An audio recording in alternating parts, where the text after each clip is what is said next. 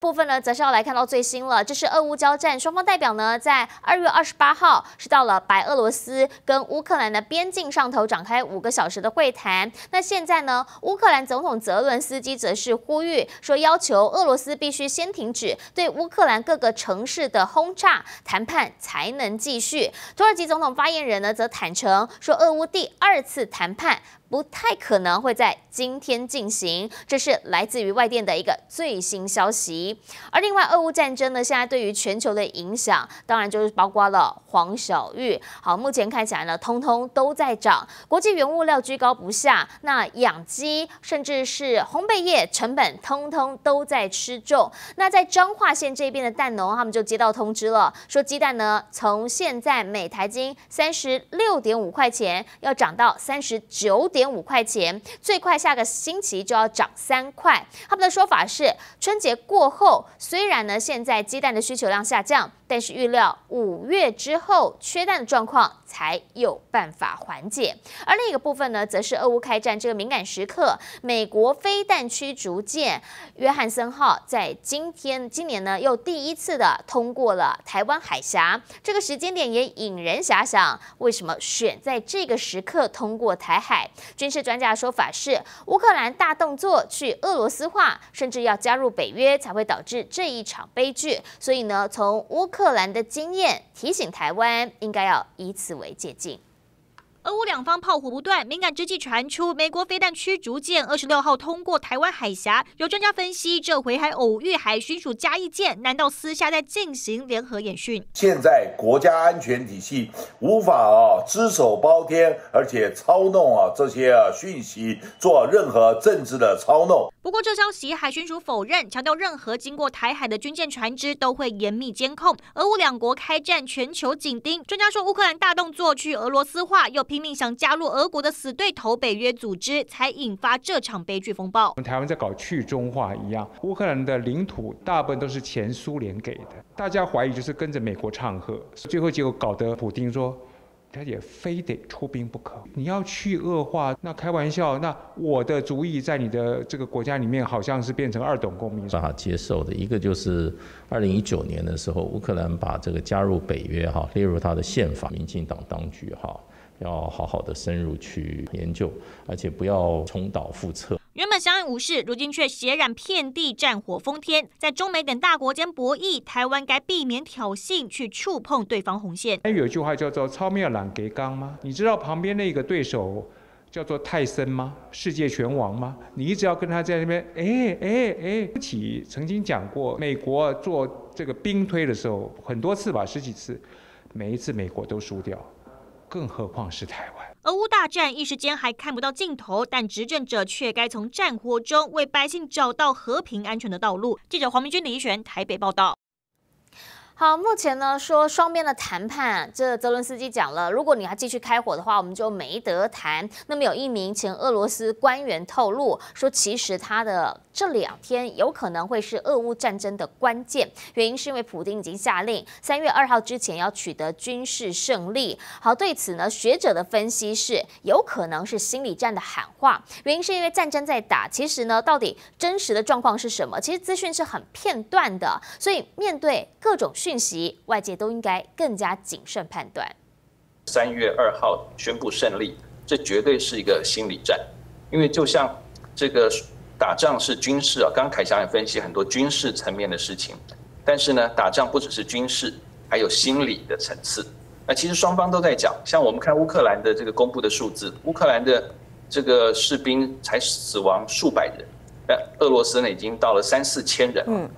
从目前的这些很多的外电综合看起来，其实这样的数字，呃，我个人会存疑啊。但是呢，不管怎么样，反正大家有时候是喊给国际听的，喊给自己的人民听的。所以军事战还有心理战，我想在最近会持续的不断发生。我们研究国际关系、或研究安全的，常常把战争视为一片迷雾，看不清楚的。不管你在里面在外面，它就是一团迷雾，有太多太多的因素会影响战争的进行。还有最后战争的结果，所以英文叫做 fog of war。那这样的战争迷雾，我觉得在这一次的乌克兰跟俄罗斯战争会非常非常的明显，因为美国并没有直接介入。我们看到的这些西方的媒体，他只能从自己在那边的特派员或者所谓的独立媒体，他们的这些只字片语报道出来，很零星、很片段的。美国政府也没有刻意的释出美国所获得的部分的镜子。那俄罗斯当然只讲他自己好的，乌克兰只讲他自己好。所以我们真的是像瞎子摸象一样，像像瞎子摸象一样。所以我们当然要更小心的去判断未来这几天乌克兰、俄罗斯不管是谈判或者是军军事冲突的走向。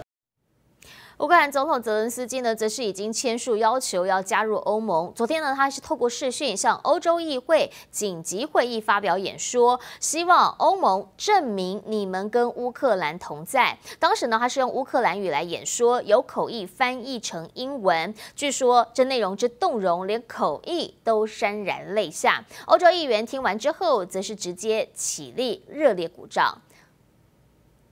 而另外呢，其实泽伦斯基就在他的演说当中特别强调，这场战事里头有许多人牺牲，每一座城市当中的广场都将被称为自由广场。泽伦斯基呢，则是敦促欧盟让乌克兰用特别程序直接加入欧盟，让欧盟更加强大。甚至呢，他也向在昨天炮火袭击当中丧命的十六名孩童致哀，痛批俄罗斯总统普京杀死了这些无辜的小朋友。朋友，他的演说呢，让很多欧洲议员为之动容，也举了印有乌克兰的国旗，上头写着“和乌克兰站在一起”的牌子，来声援乌克兰。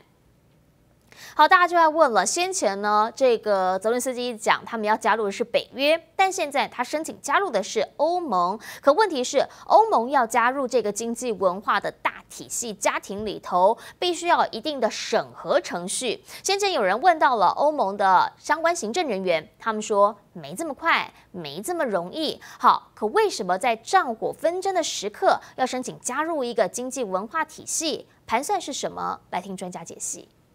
这个问题，他可能在这个三项当中啊，泽伦斯基可能会考虑一两项，但是呢，看起来泽伦斯基这样子玩。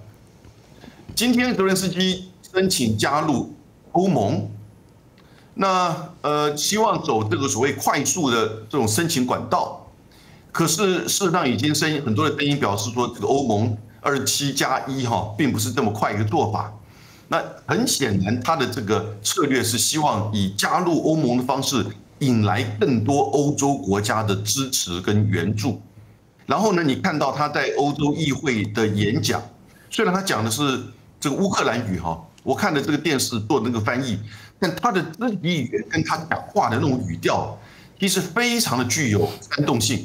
他果然是延续演了三年的人民的公仆当总统啊，然后做到总统了之后。的这样一个表现，所以他的表演是真的是一流，也造成了这个连续五天的攻击之后呢，使得整个欧洲、全世界大概现在都站在他这一边，嗯，连新加坡都说，哦，要谴责这个俄罗斯，季辛吉都说了，其实这个乌克兰可以做东西之间的桥梁，你只要有一定的平衡，哦。不要去绝对的倾向任何一方的话，尤其不可以加入北约。但是你看的泽伦斯基跟拜登在过去这一两年所做的这个倾向，就是针对的啊普丁来。那他们对普丁的了解，以及普丁在那边大军驻扎都三个月了，难道不知道他接下来的动作怎么？美国都告诉我们呢，连我们都不相信，对不对？我们的节目连不相信说啊，俄罗斯真的会打。结果美国不断的告诉我们说他会打。美国如果相信他会打。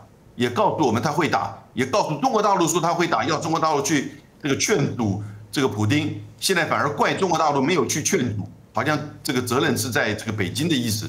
那美国在这段时间，你的外交作为是做了什么东西？你干脆是不是就是说，我们针对北约的问题来好好的谈一谈？